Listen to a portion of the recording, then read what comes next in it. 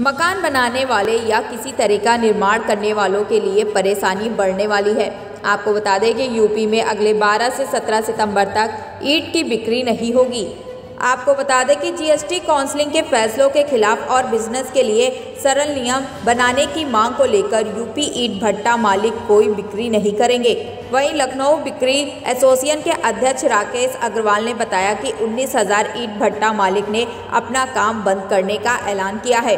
आपको बता दें कि यूपी में 38 लाख लोग ईट भट्टा कारोबार से जुड़े हुए हैं। ईट भट्टा मालिकों ने पहले ही मांगों को लेकर अक्टूबर 2022 से सितंबर 2023 तक अपने ईट भट्टों का काम पूरी तरीके से बंद रखने का ऐलान कर चुके हैं। वह आंदोलन के उसी कड़ी में अगले पाँच दिनों तक कोई बिक्री न करने का फैसला किया है। ब्यूरो रिपोर्ट आई